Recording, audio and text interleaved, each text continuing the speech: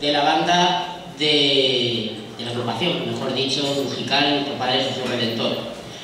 En el repertorio de la banda de la agrupación tienen una marcha bastante especial, que es Virgen de la Iniesta.